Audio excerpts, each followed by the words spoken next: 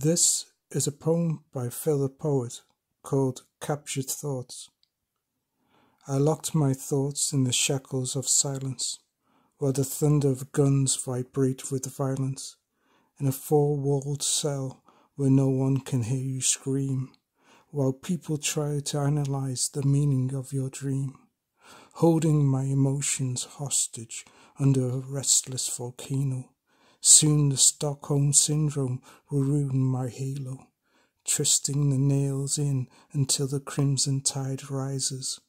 See the true me wrestling through a plethora of disguises. The words I hold irritate my skin that I begin to twitch. Pruritus, entering my bloodstream, making my soul itch. Dare I let go of the thoughts I've captured or not? Does this all make sense, or is it an indecipherable blot? And in the end, my captive thoughts found the key. Through a pen, they marched to a place they longed to be, tattooed on a pale virgin alabaster skin of poetry. They smile gratefully, acknowledging they are now free. End poem.